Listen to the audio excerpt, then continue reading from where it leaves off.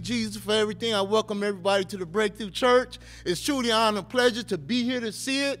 So I just want to share something with you of the song we just sung about we used to be beggars, but now we're royalty, right? Because when we connect to God, we become something new, new creatures. Old things have passed away. So I want to talk briefly about uh, brokenness. Brokenness is something that attracts God. He want to come and fix all the broken places in your life, right? So this new year, run to God. Don't run from God, okay? He got something for you. I want to say for myself how God turned my life around. I want to talk about that for a brief moment.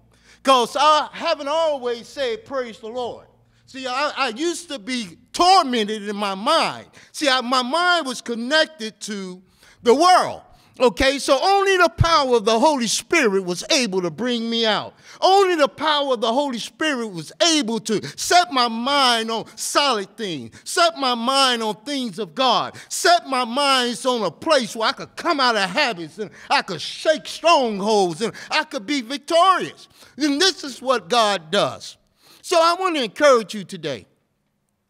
Don't think that your situation is low or high, that God can't deliver you. God will come in because he's attracted to brokenness. When you're sitting there in anxiety, when you're having problems in your family, when everything is going chaotic in your life, God steps in. But you have to position yourself for the blessing. Don't listen to no negative thought that's telling you to get away from God. So this morning is a new day. It's a new year. We bring forth the power of God. We taking back the land. We taking back our our family. We taking back the position that God has created us to be. So I just want to encourage you, coming into this new year, coming in with an awesome move and power. You delete all that other stuff that's telling you, I can't do this, I can't do this. It's about, no, no. Shake that and send it back.